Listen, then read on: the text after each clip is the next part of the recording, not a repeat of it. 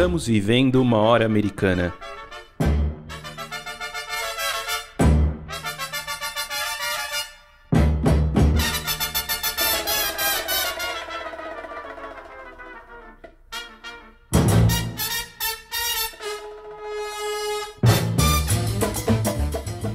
Sejam bem-vindos ao podcast Hora Americana. Aqui trazemos especialistas para conversar sobre diversos temas da história das Américas.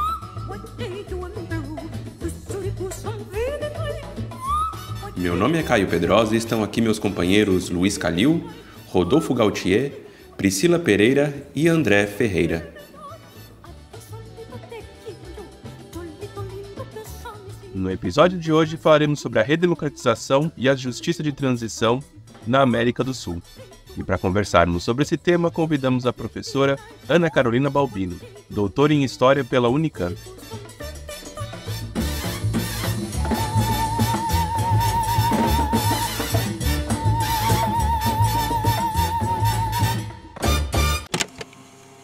Por tudo isso, senhor presidente, este julgamento e esta condenação são importantes e necessários para a nação argentina que foi ofendida por crimes atrozes. Sua própria atrocidade torna monstruosa a mera hipótese da impunidade. Salvo que a consciência moral dos argentinos tenha baixado a níveis tribais, ninguém pode admitir que o sequestro, a tortura ou o assassinato constituam feitos políticos ou contingências do combate. Agora que o povo argentino recuperou o governo e controle de suas instituições, eu assumo a responsabilidade de declarar, em seu nome, que o sadismo não é uma ideologia política nem uma estratégia bélica, mas uma perversão moral. A partir deste julgamento e desta condenação, o povo argentino recuperará sua autoestima, sua fé nos valores aos quais se constitui a nação e a sua imagem internacional, severamente danificada pelos crimes da repressão ilegal.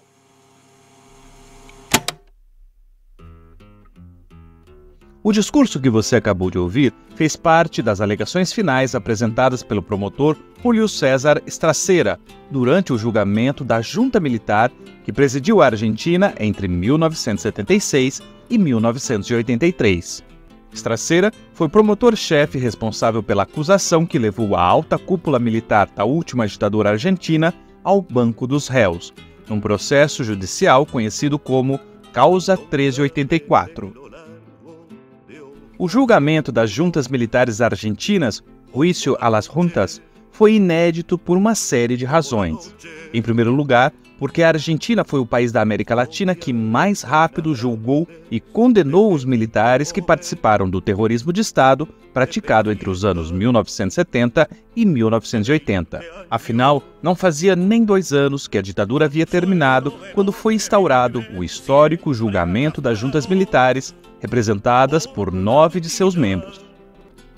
Em segundo lugar, foi a primeira vez que toda a sociedade argentina se inteirou da escala e da dimensão dos crimes de lesa humanidade cometidos pelos militares durante o autodenominado Processo de Reorganização Nacional.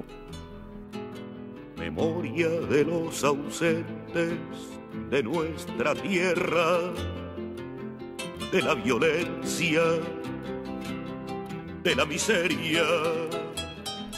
Essa tomada de consciência sobre a magnitude do aparato repressivo veio à tona a partir do relato de 833 pessoas que testemunharam nas audiências públicas realizadas no Palácio da Justiça, em Buenos Aires. Em terceiro lugar, não havia na época precedentes de um tribunal civil julgando militares, assim como não havia um contexto propício para que aquele julgamento acontecesse. Quer dizer, não havia a nível regional um contexto favorável, nem tampouco modelos prévios para que a Argentina iniciasse um processo de justiça de transição e fizesse um acerto de contas com o seu passado ditatorial.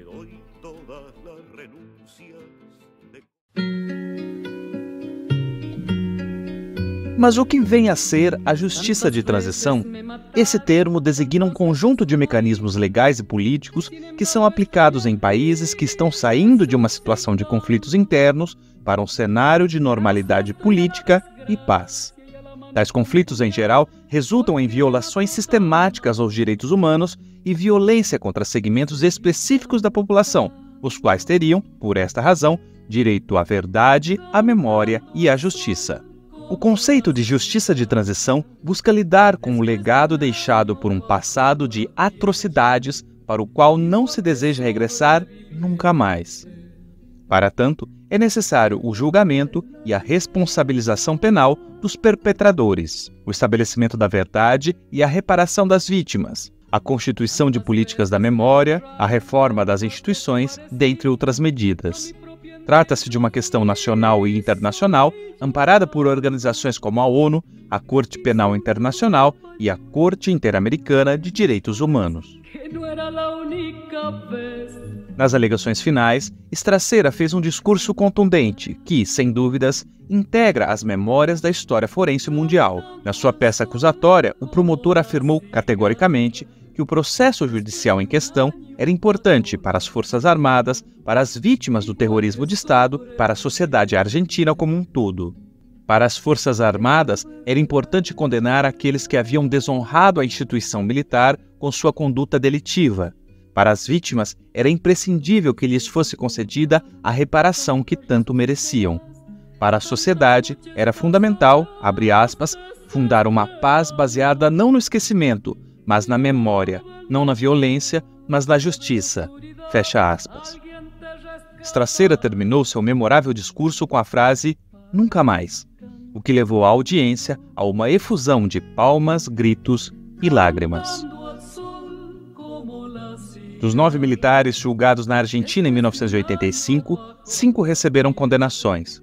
Jorge Rafael Videla e Emílio Maceira foram condenados à prisão perpétua. Orlando Ramon Agosti, Armando Lambruschini e Roberto Eduardo Viola foram condenados à prisão, respectivamente a quatro anos e seis meses, oito anos e o último a 17 anos. Foram absolvidos Omar Rubens Grafinha, Leopoldo Galtieri, Jorge Anaya e Basílio Arturo Lamy Doso. A partir de ahí empezamos otra lucha más fuerte quizás porque ya fue con el gobierno constitucional que teníamos que, que enfrentar. Nós, as mães, a partir dali começamos uma outra luta, talvez até mais forte, porque foi o governo constitucional que tínhamos de enfrentar. Que era muito mais difícil porque já mundialmente y, y, a nivel social te decían para qué siguen las madres, que son una mala imagen, que para qué reclaman, que já hay Estado de Derecho. Que era muito mais difícil, porque já internacionalmente e a nível social questionavam por que continuam as mães, diziam que era uma imagem ruim, porque ainda reclamam que já estávamos no Estado de Direito. E, bueno, Estado de Direito havia para alguns, mas não para todos. E bom, o Estado de Direito havia para alguns, mas não para todos. De acordo a lo que havia passado anteriormente, muitas expectativas não tínhamos. Pelo que já havia acontecido anteriormente, não tínhamos muitas expectativas. De todos modos, ante uma ditadura e um governo, digamos, o que chamávamos, nós sempre dijimos que eram governos constitucionais não democráticos. De qualquer forma, diante de uma ditadura e de um governo, digamos, o que chamávamos, nós sempre dizíamos que eram governos constitucionais e não democráticos. Empieza outra luta, a lo mejor mais complicada, mais difícil, porque vai haver mais gente em contra de nós. Começa uma nova luta, talvez mais complicada, mais difícil, porque haveria mais pessoas contra nós. Sempre que vêm os governos constitucionais, o povo confia e quer, e, nós desconfiávamos, ¿viste? Então já sabíamos que nos iba, que havia muita gente que nos iba a criticar. Sempre que chegam os governos constitucionais, o povo confia e se apega, e nós desconfiávamos. Já sabíamos que muita gente iria nos criticar.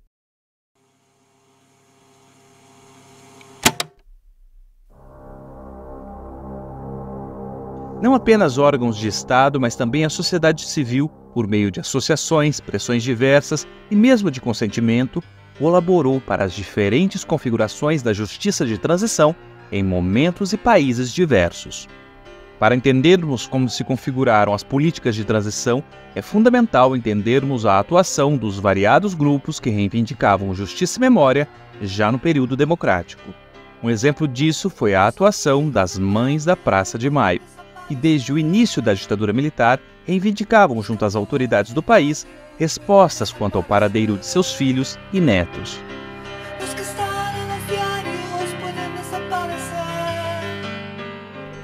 Como ficou claro nos depoimentos que escutamos, as mães não consideravam que sua luta estivesse encerrada com a chegada da democracia à Argentina. Conforme as falas de Evel Beba de Petrini, Mercedes Porota de Meronho e Hebe de Monafini, havia a percepção de que um longo caminho ainda deveria ser percorrido para que se alcançasse justiça e democracia plena no país.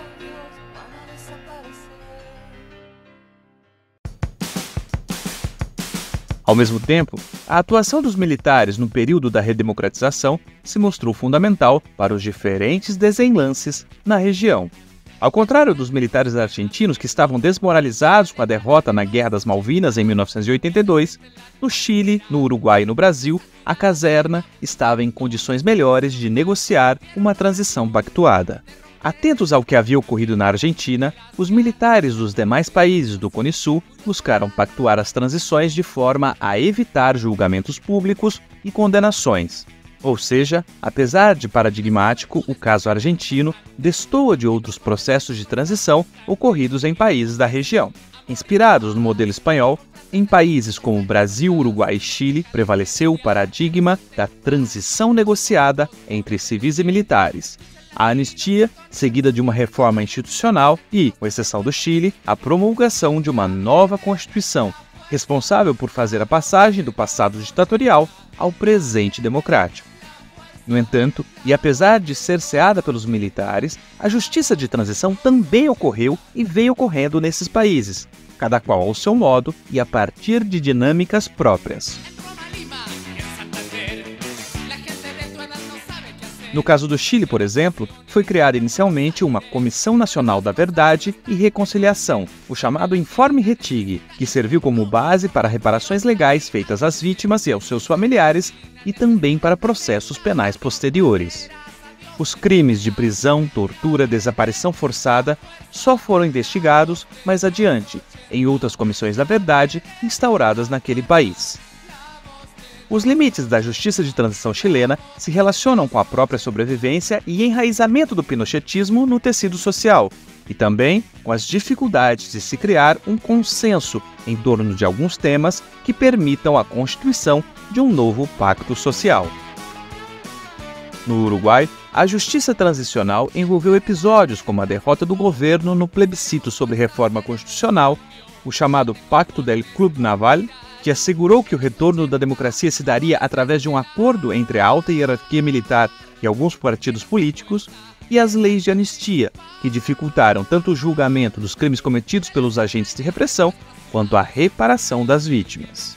Isso tem colocado o Uruguai na encruzilhada entre reivindicar o direito à verdade, à memória e à justiça ou defender uma política de esquecimento. Já no Brasil, foi criada uma lei de anistia em 1979 que se baseou nos princípios do perdão e do esquecimento como forma de conciliar agressores e agredidos no processo de edificação do novo Estado de Direito. Essa lei de anistia inviabilizou a responsabilização penal dos repressores, a reparação das vítimas e a busca pela verdade, o que resultou num cenário de impunidade que tem sido duramente criticado por organismos internacionais até os dias de hoje. Recentemente, por exemplo, o Brasil foi condenado pela Corte Interamericana de Direitos Humanos pela tortura e assassinato do jornalista Vladimir Herzog. A corte alegou que crimes contra a humanidade são imprescritíveis e não podem ser anistiados. A demora de quase 30 anos para a instauração de uma Comissão Nacional da Verdade sua falta de efetividade e a não punição dos agentes públicos que participaram da repressão brasileira são também aspectos que marcam a justiça transicional em nosso país. Enfim, a história da justiça de transição na região demonstra como este foi um processo não linear, que tem seguido muitas vezes um caminho errático de idas e vindas, de avanços e retrocessos, que são o resultado das batalhas pela memória e dos embates políticos do momento. Mesmo no caso argentino, anos depois do julgamento das juntas, o presidente Raul Alfonsín teve que voltar atrás e fazer concessões aos agentes da repressão devido às leis de Ponto Final, de 1986, e Obediência Devida, de 1987. Essas duas leis limitavam os alcances da responsabilização penal na medida em que encerravam o prazo para abertura de novos processos contra os militares, caso da lei do ponto final, e impediam processos contra oficiais subalternos, caso da lei da obediência devida. Em 1990, o presidente Carlos Menem decidiu conceder indulto aos militares condenados no julgamento das juntas de 1985, sob a alegação da necessidade de uma reconciliação nacional. No começo da década seguinte, foram criadas medidas compensatórias para as famílias das vítimas e nasceram os chamados julgamentos pela verdade, ou juízos por la verdad, como alternativa à impossibilidade de responsabilização penal vigente naquele momento. Foi apenas em 2003, durante o governo de Néstor Kirchner, que as leis de impunidade foram anuladas e foram reabertos os julgamentos por crime de lesa humanidade na Argentina, como podemos ouvir no áudio a seguir. Las cosas hay que llamarlas por su nombre. E acá, se vocês me permitem. Preciso chamar as coisas pelo seu nome. E aqui, se vocês me permitem. como companheiro e hermano de tantos companheiros e irmãos que compartimos aquele tempo. Já não como companheiro e irmão de tantos companheiros e irmãos que dividimos aquele tempo. Como presidente da nação argentina. Mas como presidente da nação argentina. Vengo a pedir perdão do Estado Nacional por la vergüenza de haber callado durante 20 anos de democracia. Venho pedir perdão da parte do Estado Nacional pela vergonha de ter calado durante 20 anos de democracia por tantas atrocidades. De tantas atrocidades. E hablemos claro, não é rencor ni odio los que nos guia e me guia. É justiça e luta contra a impunidade. Vamos falar claramente. Não é rancor ou ódio o que nos guia ou me guia. É justiça e luta contra a impunidade. E a los que hicieron este hecho tenebroso y macabro de tantos campos de, la de concentración como foi a ESMA. Aos que fizeram este feito tenebroso de tantos campos de concentração como foi a ESMA, tem um só nome: são assassinos repudiados pelo povo argentino. São assassinos repudiados por el pueblo argentino.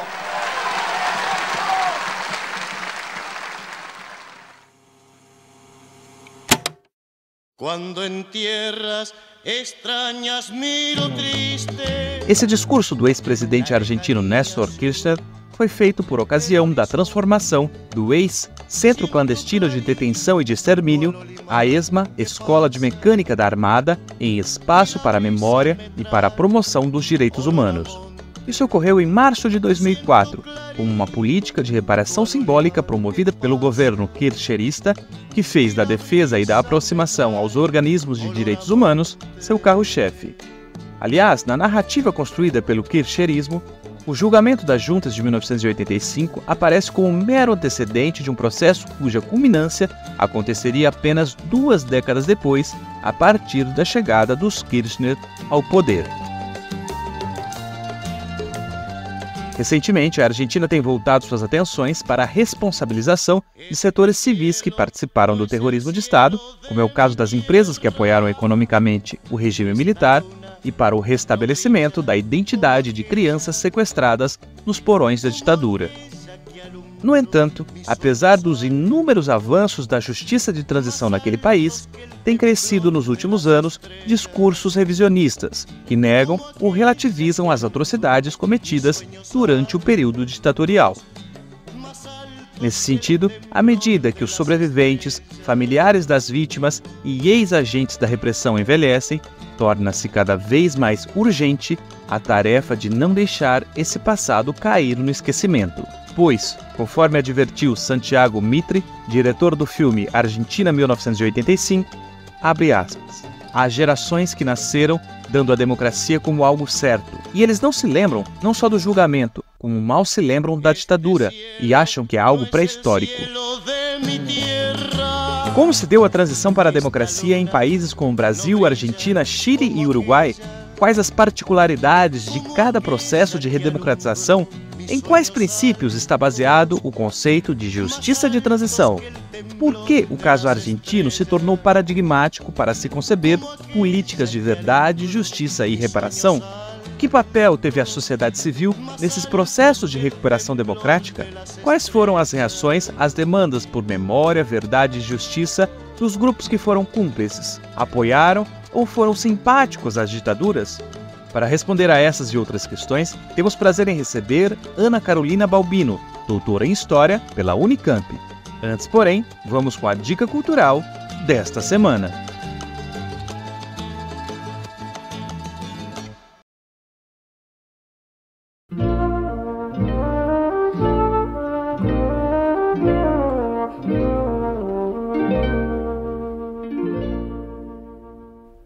A dica da hora dessa semana é o livro No Exílio por Justiça: Os Exilados e o Processo Penal contra os Militares Argentinos na Espanha, 1996 a 1998, da Ana Carolina Balbino, nossa entrevistada de hoje. A obra é fruto da tese de doutorado defendida pela nossa entrevistada na Unicamp em 2022, sob orientação do professor José Alves de Freitas Neto. Lançada recentemente pela editora Intermeios, a obra analisa o processo judicial iniciado na Espanha em 1996 para julgar os repressores argentinos que haviam participado da última ditadura civil-militar naquele país. O julgamento baseou-se na ideia de justiça universal e contou com a participação ativa de exilados argentinos da primeira e segunda gerações, o que ofereceu as condições para que se refletisse sobre a própria experiência do exílio e se efetuasse um trabalho de reelaboração dos traumas vividos. Com isso, pavimentou-se o caminho para que surgissem outras memórias da repressão, a partir da ênfase em um grupo que até então estava em segundo plano nos debates sobre direitos humanos e justiça de transição.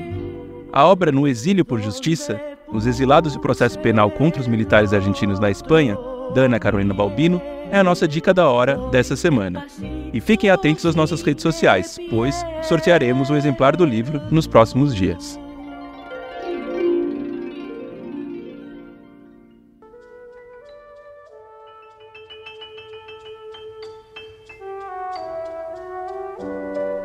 Você está ouvindo Hora Americana. Olá, ouvintes da Hora Americana. Vamos para mais uma entrevista do nosso programa. Hoje vamos falar sobre a transição entre as ditaduras e as democracias na América do Sul.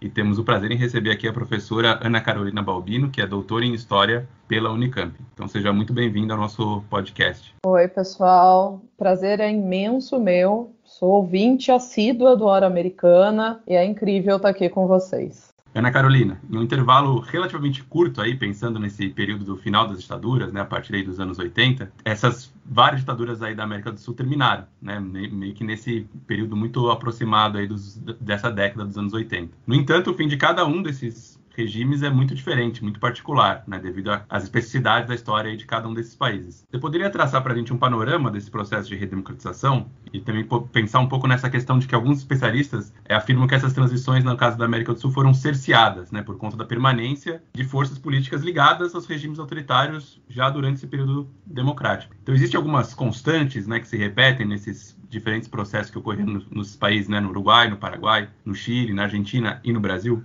Bom, para pensar um pouco esses processos de redemocratização, o primeiro ponto é a gente olhar o momento em que, ele, que eles acontecem, né? Eles estão todos ali entre o meados dos anos 80 e início dos anos 90. E eles estão ligados a questões externas da América Latina, mas a também questões internas da região. É, externamente, a gente tem o enfraquecimento e o posterior fim da Guerra Fria, que vai trazer uma possibilidade maior aí para as redemocratizações. Existe uma condenação internacional desses regimes, que, que veio a partir da ação das vítimas, que vai tomando um escopo muito maior no final dos anos 80. E você tem uma, a transição de regimes que já tinha acontecido na Europa, né? A transição do regime salazarista e a transição do regime franquista também abrem um novo processo de redemocratização para o qual a América Latina vai olhar. Mas sem dúvida nenhuma são as questões internas que vão se tornar mais fortes para marcar esse processo de redemocratização dentro da região. É um momento de crise econômica fortíssima em todos os países latino-americanos e isso vai gerar um abalo muito grande para os militares, é, para as ditaduras que estão no poder, com um aumento, uma ampliação nos movimentos de oposição que existiram desde o início do regime, mas que passaram a ter uma atuação interna e externa e uma atuação conjunta dentro da região muito forte. E isso deu uma possibilidade maior aí de enfrentar as ditaduras e de abrir uma fresta para a redemocratização. A imagem dos militares vem abalada pela crise econômica, vem abalada pelas denúncias das violações de direitos humanos, e especificamente, aí falando do caso que eu, que eu estudo mais, que é o caso argentino, por exemplo, você tem a Guerra das Malvinas, que tira qualquer força possível dos militares para negociar uma transição e para permanecer no poder. A derrota dos militares argentinos em 1982 para a Inglaterra é um passo fundamental para a redemocratização naquele país. No caso chileno, a gente já consegue citar o plebiscito, que foi convocado eh, em 1989 e que vai levar à derrota do Pinochet e também impede aí a permanência dele no poder, né? Pelo menos abre uma fresta para sua retirada do poder. É claro que essas redemocratizações, elas vão ter seus problemas também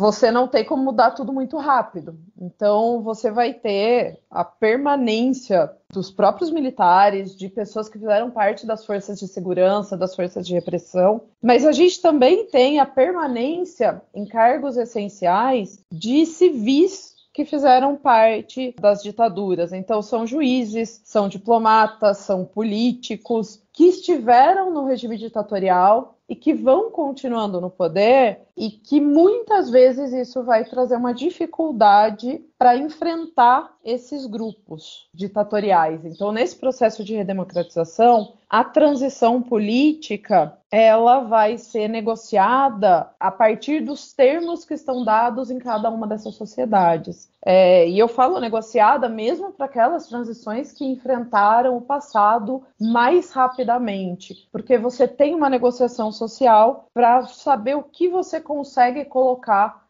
em pauta nesse novo regime. Nisso é fundamental o apoio social e os movimentos de direitos humanos, como eles conseguiram agir, qual é o espaço que eles conseguiram dentro dessas sociedades e mesmo o que, que essas sociedades consideraram como os papéis fundamentais do momento de, de redemocratização.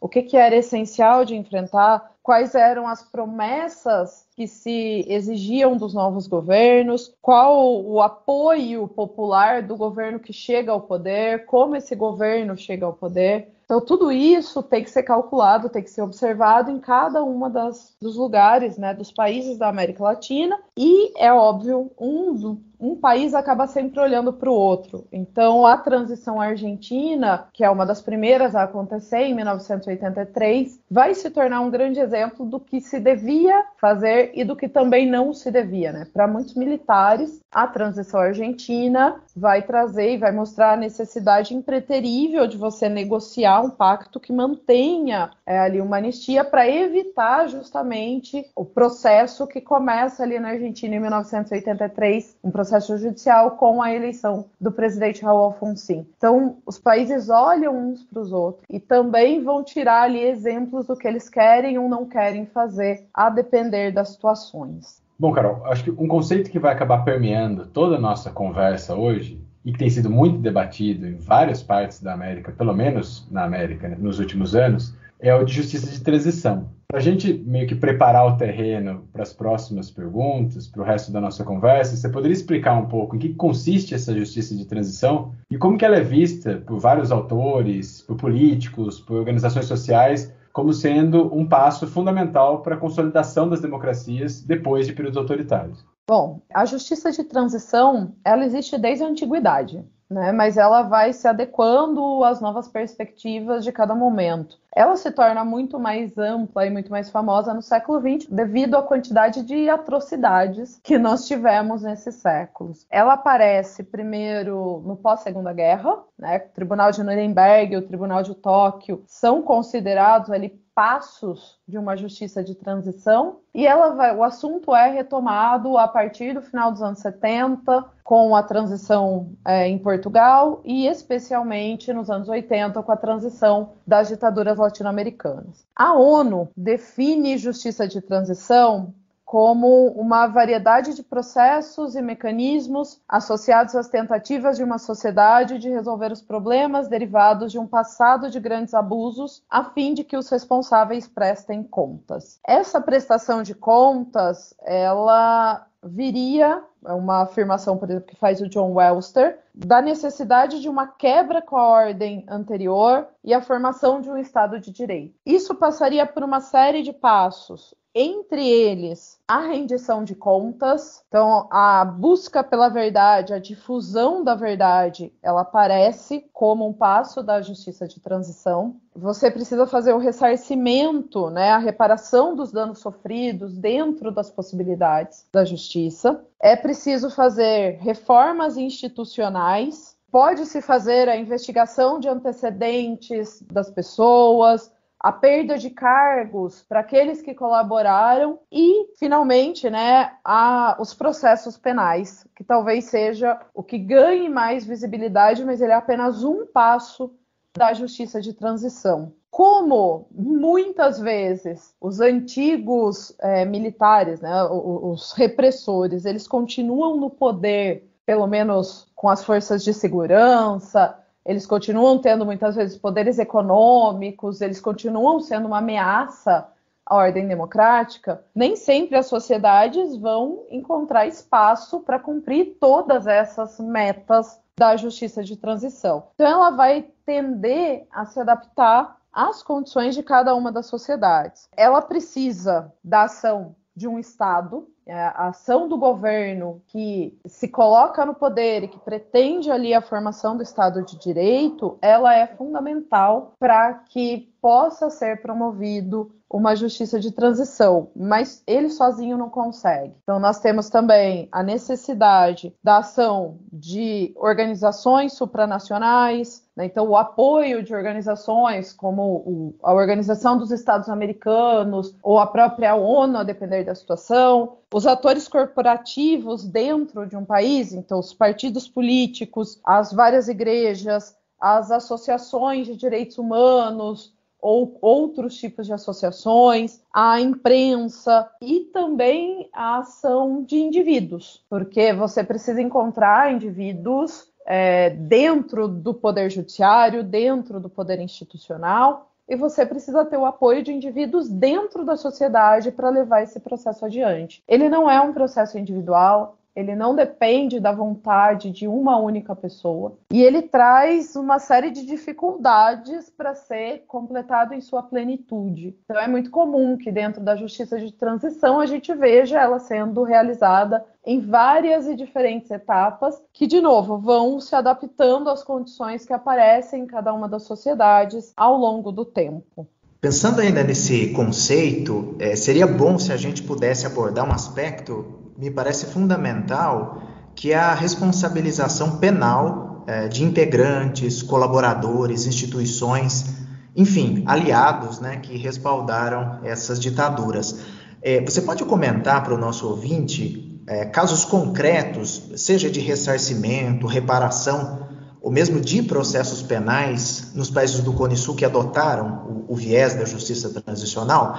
Eu te pergunto isso porque, é, como você mesma mencionou antes, parece haver limites bastante claros né, nesses processos, seja pelas leis de anistia, seja porque apenas julgar às vezes parece que não dá conta né, do que se entende como justiça de transição. Você pode comentar a respeito, digamos, do alcance desses julgamentos?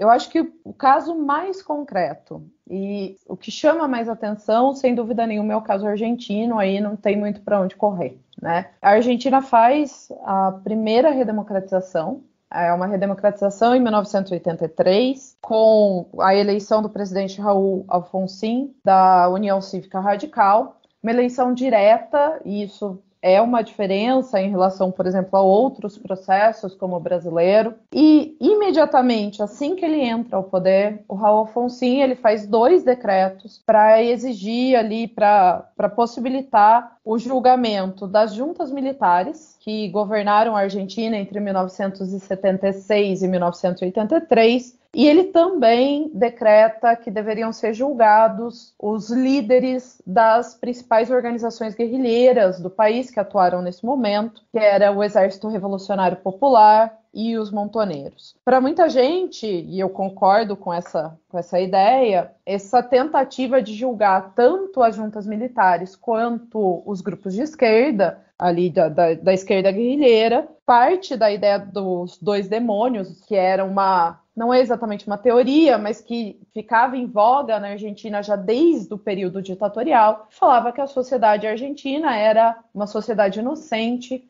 atingida por duas grandes violências, a violência ditatorial e a violência da esquerda. Ainda que o julgamento dos líderes das organizações guerrilheiras tenha ganhado menos espaço, ele também foi feito ali em meados dos anos 80. Para que o julgamento das juntas ocorresse, o Alfonsin também criou a CONADEP, a Comissão Nacional sobre a Desaparição de Pessoas, que é, visava investigar o maior crime da ditadura, que era o crime da desaparição política. Em 1985, julgamento das juntas acontece, efetivamente, e há condenação de alguns chefes das juntas militares. É, você tem condenado os chefes da primeira junta, alguns dos chefes da segunda, e isso é um passo fundamental porque ele quebra uma tradição de anistias que vinha na Argentina. A Argentina que passou por cinco golpes militares ao longo do século XX, ela tinha uma tradição, como toda a América Latina, de acordos e anistias que é quebrada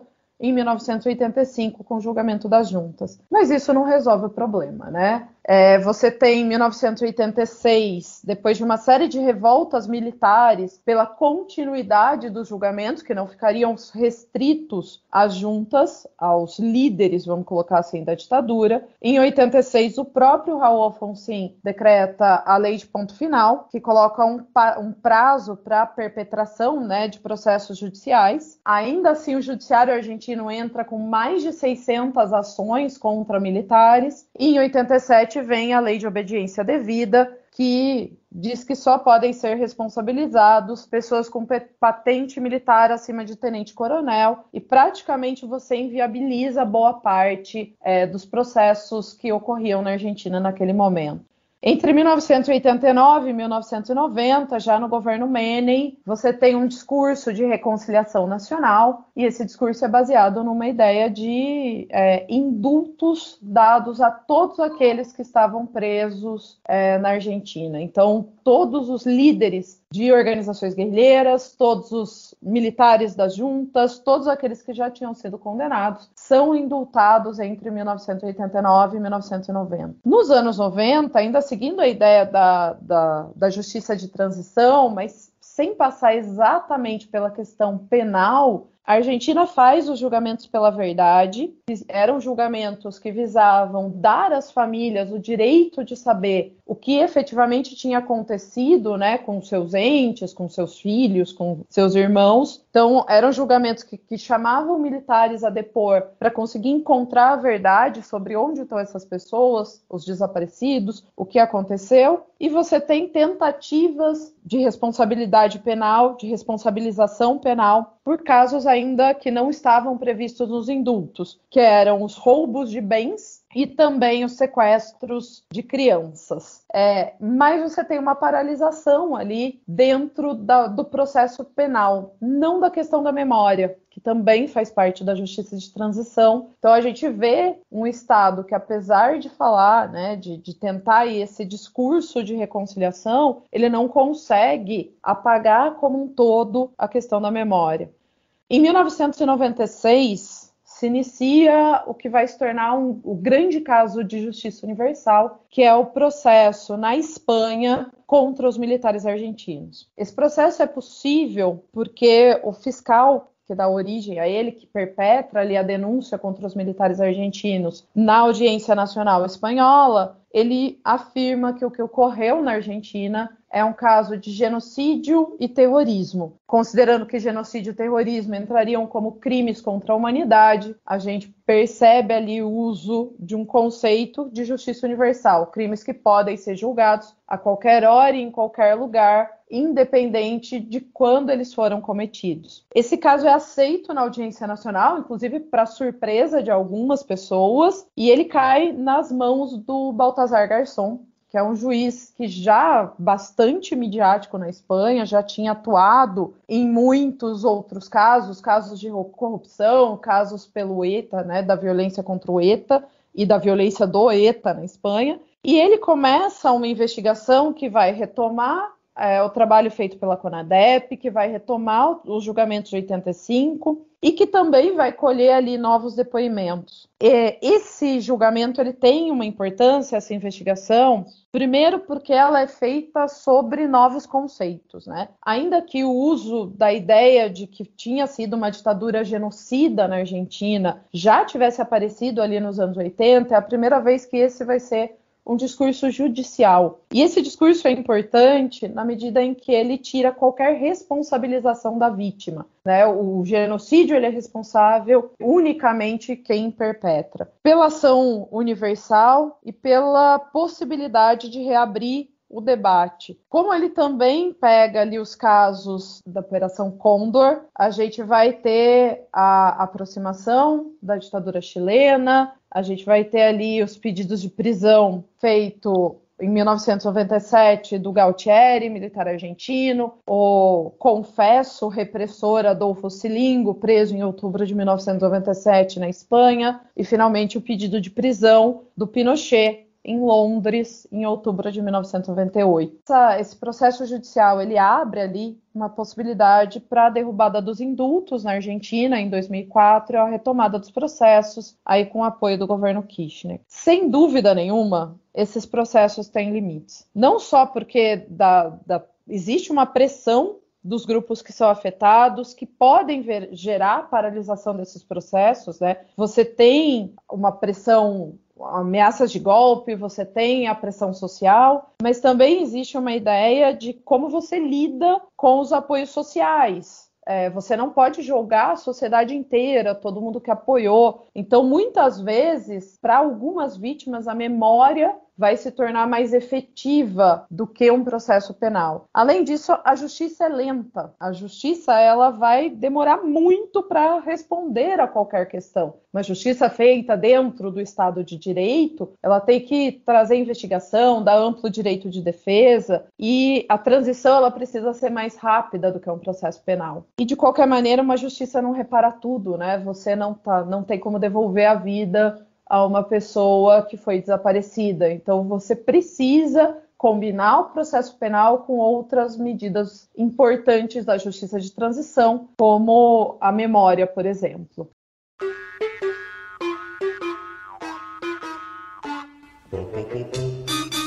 Oi, eu sou a Maria Clara. Oi, eu sou o Paulo e nós somos integrantes do Hora Americana. Gostaríamos de te convidar para conferir os conteúdos publicados das nossas redes. Afinal, o episódio nunca acaba nessa horinha aqui. Muitas das temáticas e dicas mencionadas por nossos convidados e convidadas serão retomadas por lá, e praticamente todo dia tem postagem nova. Então é isso. Nos acompanhe também nas redes sociais do Hora Americana e não se esqueça de nos avaliar nas plataformas de áudio. Encontramos vocês lá.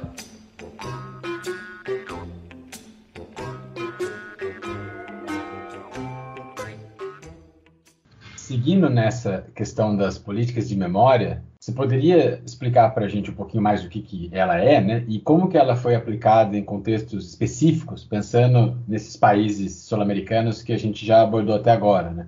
Que passaram por esse processo de redemocratização a partir dos anos 80 aqui na América do Sul. A política de memória ela é fundamental, ela é um passo importantíssimo da justiça de transição. Em relação aos apoios sociais, que aconteceram a todas as ditaduras, ela é a forma mais precisa de marcar a responsabilização da sociedade, porque a, você não deixar esquecer, você marcar que houve esse apoio social, ele é fundamental para que essa sociedade não é, encubra o apoio dado, não encubra os crimes cometidos com o manto da ideia dos demônios, como por exemplo eu já citei na Argentina. Existem políticas de memória oficial, como eu considero, a maneira que eu chamo. O exemplo também eu posso dar aí pela CONADEP. Considero que é uma memória oficial porque foi uma memória encomendada pelo governo, é um governo que monta a comissão, que faz uma comissão para investigar os casos de desaparição,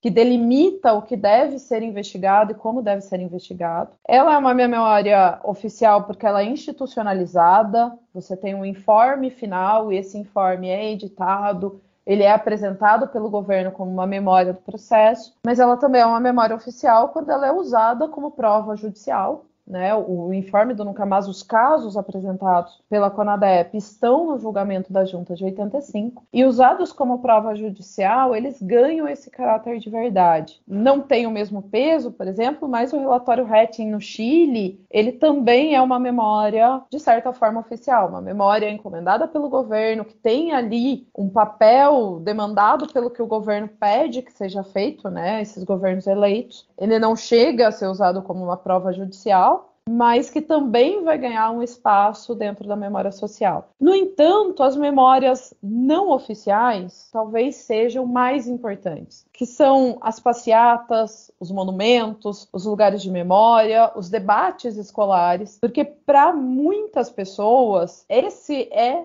efetivamente a forma de memória que vai impedir um esquecimento que é pretendido. A ideia de você deixar o passado para trás, a ideia de você viver um futuro, é uma ideia pretendida por aqueles que vão ser afetados por relembrar esse passado, que não querem relembrar os seus apoios. Então, você ter dentro, incluído dentro da sociedade, dentro das cidades, dentro das escolas, uma memória constante sobre essas ditaduras, ela é fundamental. Só que ela só existe a partir das condições políticas que têm que ser dadas para ela ser construída, mas especialmente de um apoio da sociedade. Então, essa memória é, que eu chamo aqui de não oficial, ela é uma memória que vai nascer de um apoio público a organizações de direitos humanos, a organizações de vítimas, há uma necessidade da própria sociedade que se coloca de marcar os seus pontos, de relembrar aquilo que é feito, é, de relembrar aquilo que aconteceu para dizer que aquilo não pode acontecer de novo. O apoio social ele é fundamental para que essas políticas efetivamente possam ser colocadas dentro das sociedades.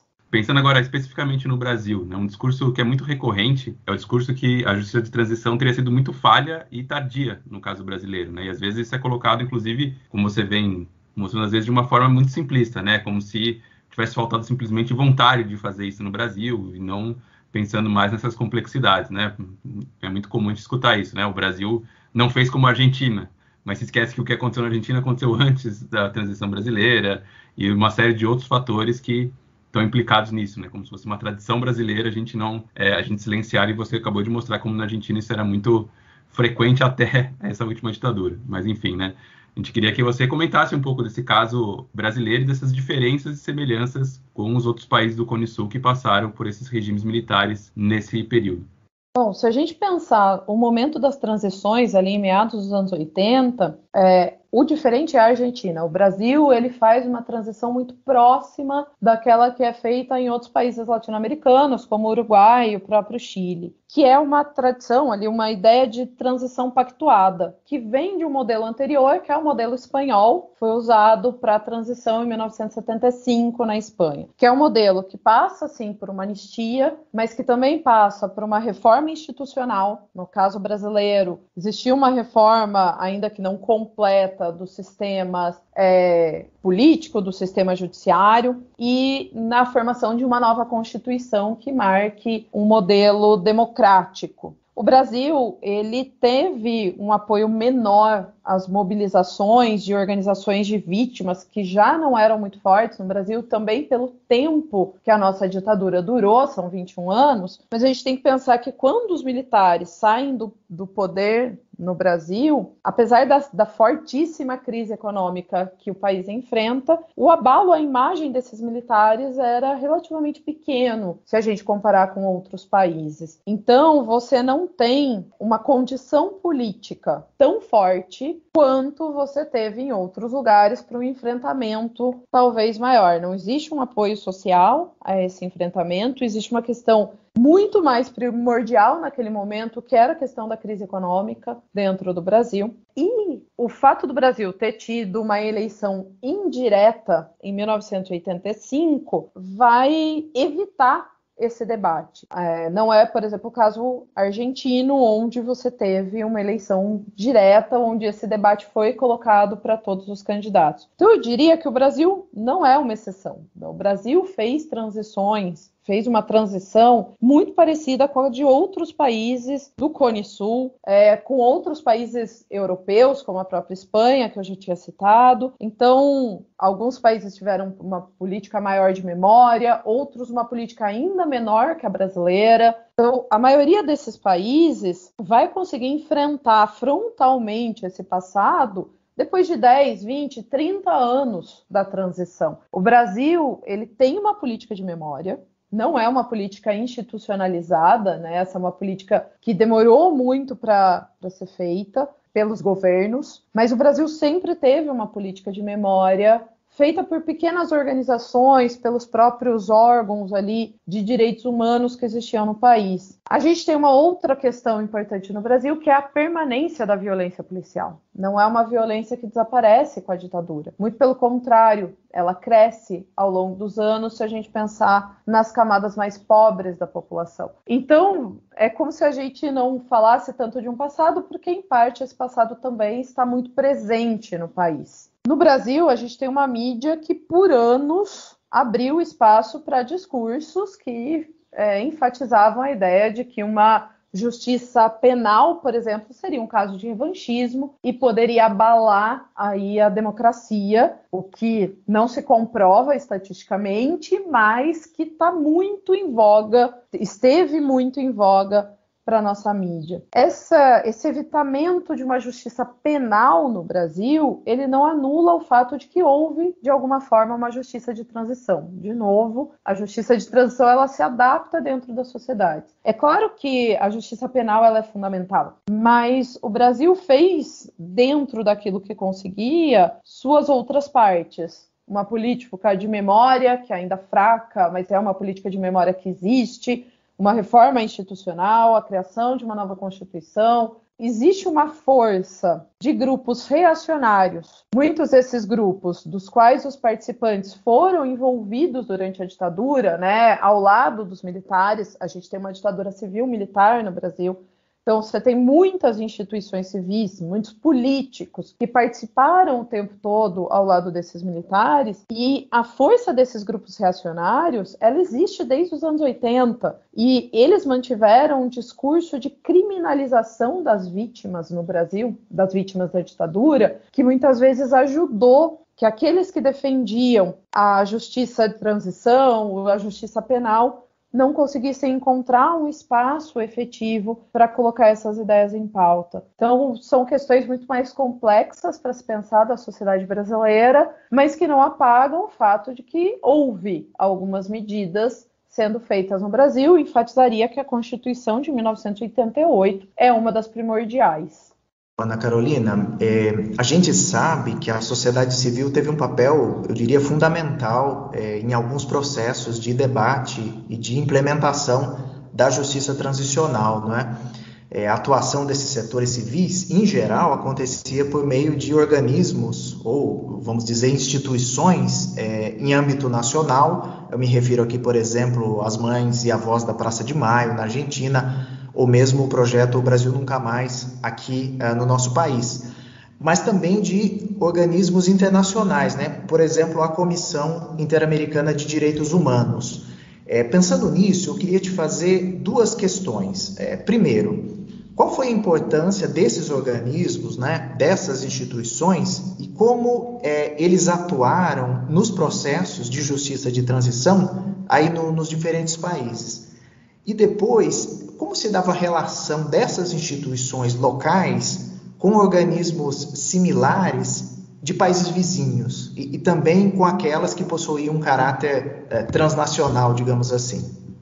as organizações de direitos humanos, né, internamente, elas tiveram, pelo menos, eu citaria três grandes papéis aí nos processos de justiça transicional. Primeiro, o papel da própria pressão social. Então, a presença constante desses organismos, por exemplo, como você citou, das mães e das avós da Praça de Maio, que não deixam esse assunto, né, não deixam o tema da repressão desaparecer do público, pressionam os governos e pressionam os órgãos internacionais a dar alguma resposta ao que está acontecendo. Então, o primeiro papel, e talvez um dos papéis mais fundamentais dessas organizações, foi esse papel da pressão social. Depois eu destacaria o papel da junção de provas mesmo. Né? Então, ao longo do, das ditaduras, ainda durante as ditaduras, essas organizações elas fazem denúncias, elas fazem investigações, elas reúnem provas dos crimes cometidos, que depois essas provas podem ter sido trazidas a público,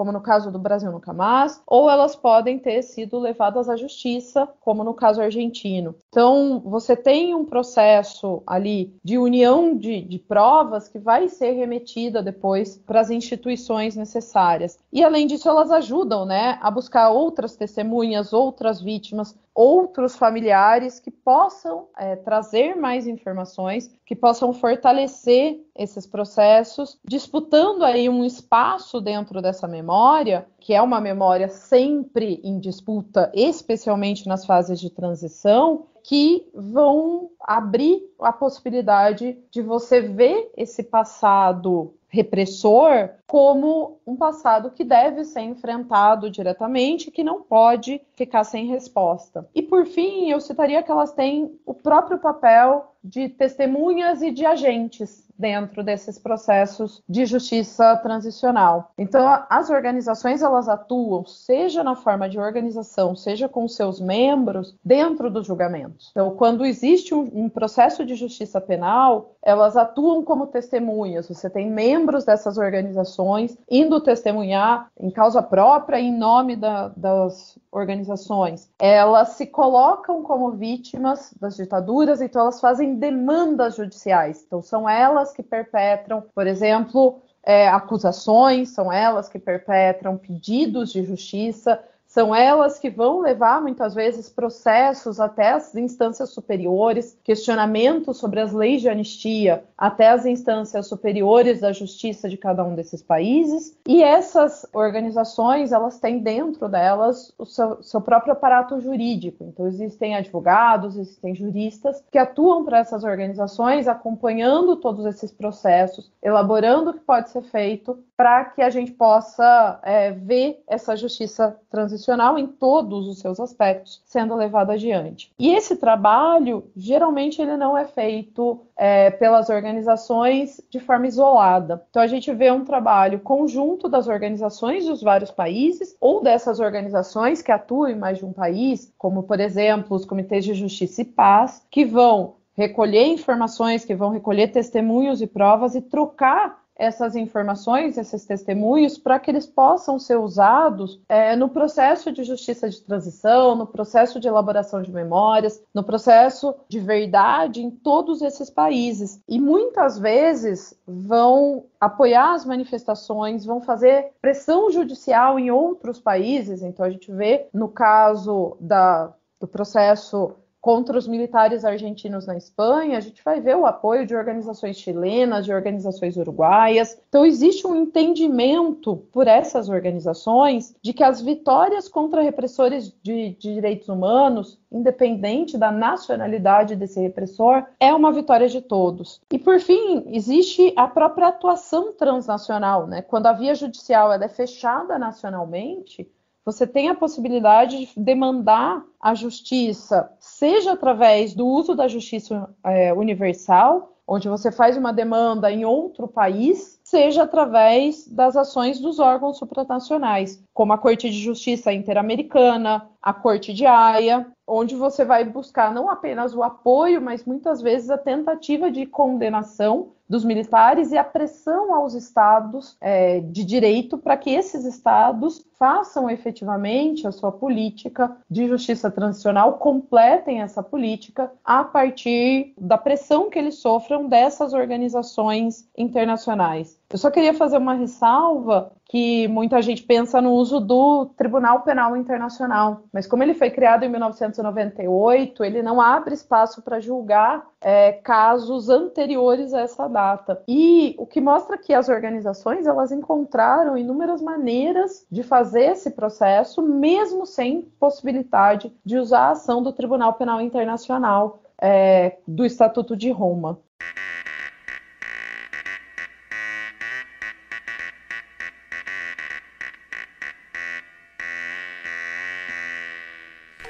Você está ouvindo Hora Americana. Bom, uma das questões que aparece quando a gente discute esse processo de redemocratização e que você abordou bastante aí nas suas pesquisas é a questão justamente dos exilados políticos, né? Então eu queria perguntar primeiro, né, como que se deu essa repatriação desses exilados e como que foi a atuação deles tanto no combate aos regimes militares quanto no período posterior, justamente na implementação aí dessas práticas da justiça de transição. Vou começar aqui falando um pouco da, da ação desses exilados aí durante os processos ditatoriais, porque, bom, eu considero que a ação deles é fundamental nas lutas por justiça e memória dentro da América do Sul. Então, durante as ditaduras, a gente já vê uma ação dos exilados, uma ação de denúncia internacional, feita tanto através de livros, de testemunhos, de passeatas, de manifestações, é, mas também feitas nesses órgãos supranacionais. Né? Então a gente vê exilados dando testemunhos na Organização dos Estados Americanos, a gente vê exilados falando na ONU, é, isso vai criando ali uma pressão sobre os militares. Além disso, é, ainda durante as ditaduras, você já tem um debate enorme feito por exilados sobre a possibilidade judicial, né, pensando na justiça penal, após o fim das ditaduras. Esse é um debate que envolve juristas, advogados, sociólogos, entre outras pessoas. Eu destacaria aqui a existência né, de três congressos internacionais que vão é, exaltar a necessidade de uma justiça penal, que uma justiça penal atuasse após o fim das ditaduras. Então, a gente tem o Colóquio de Paris, feito em janeiro de 1981, o primeiro e o segundo congressos latino-americanos de familiares de desaparecidos, o primeiro congresso na, na Costa Rica, também em janeiro de 81, e o segundo em Caracas, em novembro de 1981. Através desses congressos, a gente vê a formação de uma rede de juristas do exílio que tratavam dos temas da repressão, que falavam da necessidade de justiça, que pensavam opções possíveis do que seria né, feito após a redemocratização e que geram, de alguma forma, uma própria profissionalização na área dos direitos humanos. Então, são pessoas que trazem uma experiência anterior é, de ação, de luta contra a repressão, contra a censura, ou defendendo presos políticos, e que se formando aí dentro dessas redes de juristas, que vão congregar também países democráticos, como os Estados Unidos, países europeus, vão criar uma área de direitos humanos, uma especialidade em pensar esses processos de transição. Quando as ditaduras vão chegando ao fim, as formas de retorno elas vão ser muito diferentes. Então a gente vê, por exemplo, que os processos de anistia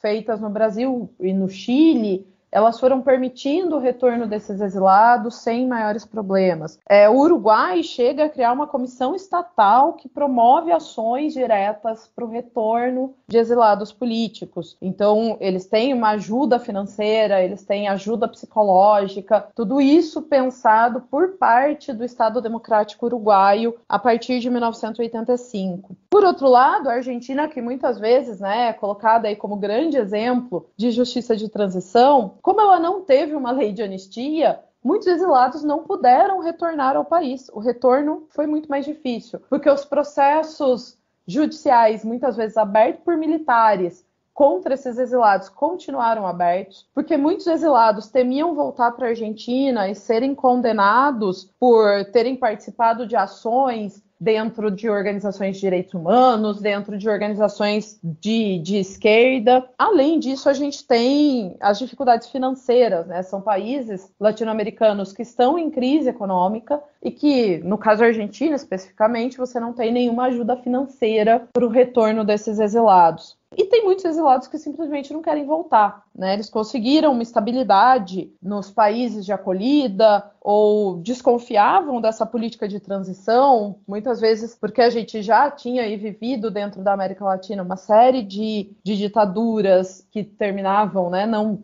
sem condenação nenhuma e que não se sentiam bem em retornar para aquela sociedade que tinha apoiado regimes militares que os perseguiram e que muitas vezes mataram parte de seus familiares, muitos tinham familiares desaparecidos e assim vai. Então, muitos decidiram mesmo por não voltar. Mas isso não significou que os exilados tenham deixado de agir. Então, eles continuaram participando de manifestações, eles continuaram formando novas organizações no exterior. Então, a gente vê uma formação de uma série de organizações de direitos humanos, de exílio, após o final das ditaduras e continuaram formando parte dessa pressão que vai existir por uma política de memória, por uma política de verdade, por uma justiça. É, são esses exilados que vão perpetrar a maior parte das ações judiciais junto a tribunais supranacionais ou tribunais é, internacionais. Então,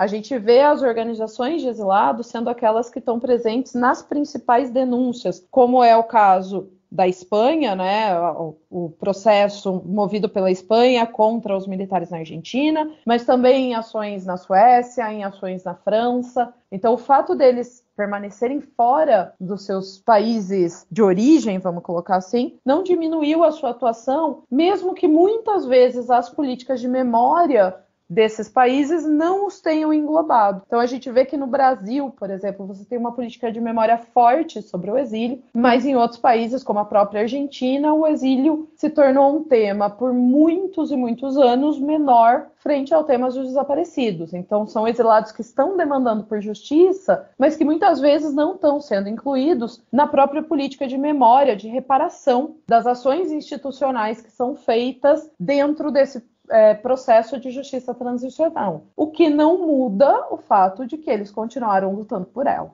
Bom, a gente está chegando já no final da nossa entrevista, mas eu lembro aqui uh, que a Corte Interamericana de Direitos Humanos recentemente condenou o Brasil pela falta de investigação, de julgamento e punição dos responsáveis pela morte do jornalista Vladimir Herzog, né?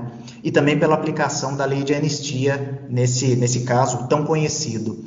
É, esse mesmo tribunal recomendou ao Estado brasileiro que se realize uma investigação completa e que se publique os resultados dessa investigação. Tudo isso para mostrar que o tema ainda é absolutamente vivo para a nossa sociedade. Mas retomando aqui a conversa com a Ana Carolina, é, ainda é possível falar de outro aspecto muito marcante nos processos de justiça de transição, que é a reação de parte das instituições e de parcelas da própria sociedade civil envolvidas com violações de direitos humanos aos movimentos que clamam por justiça desde o período da abertura, na verdade, desde antes né, do período da abertura. Isso ficou muito evidente com as reações ocorridas aqui no Brasil após a criação da Comissão Nacional da Verdade lá em 2011. Então, é, como a gente pode compreender essas reações e de que forma elas ocorreram nos diferentes países da região?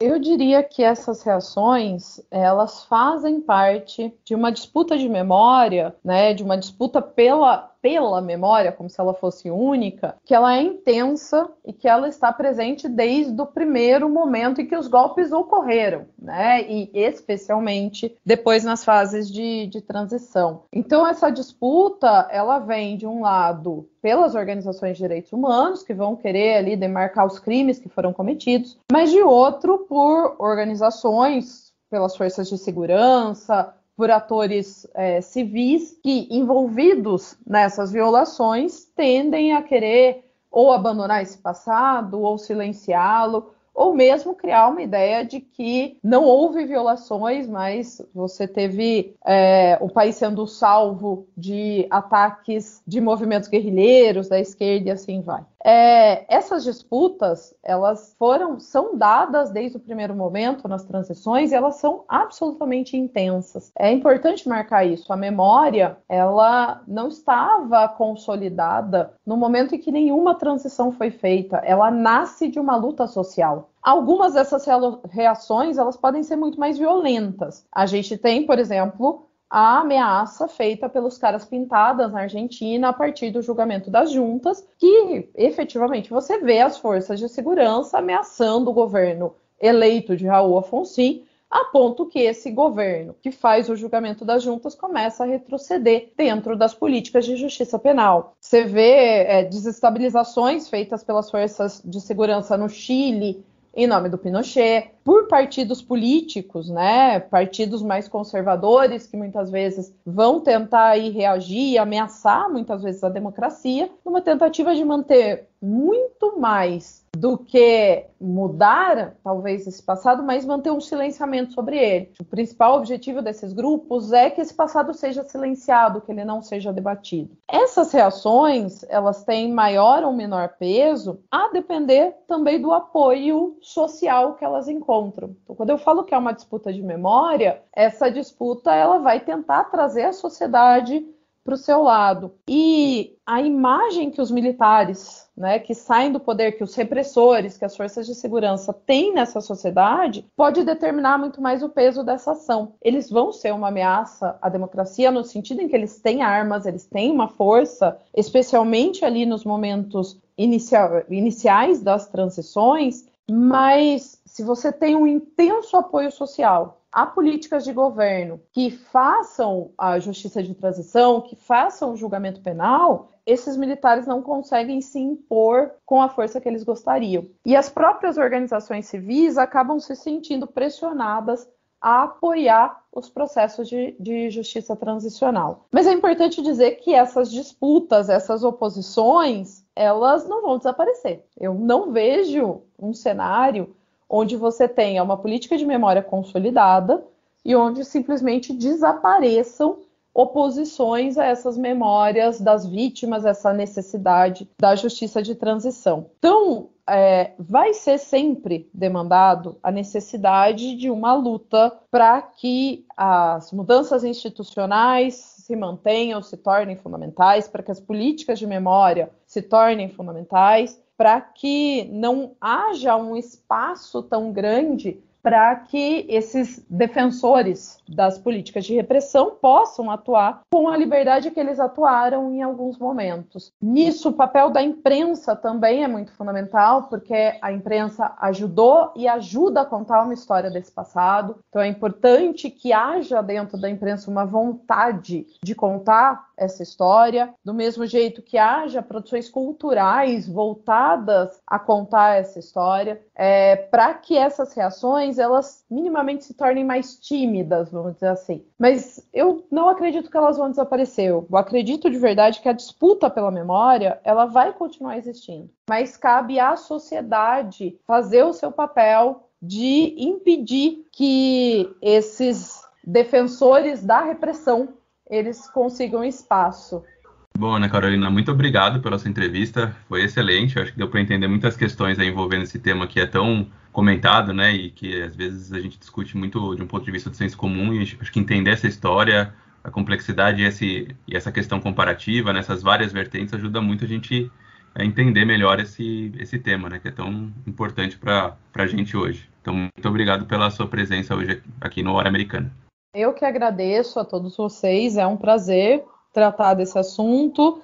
E eu acho que tem muita coisa aí ainda que a gente pode conversar, e é um, um assunto que está aberto a pesquisas. Fica o convite para todos aqueles que se interessarem pelo tema, porque faltam muitas pesquisas nessa área, e é muito interessante que a gente possa entender melhor como esses processos aconteceram.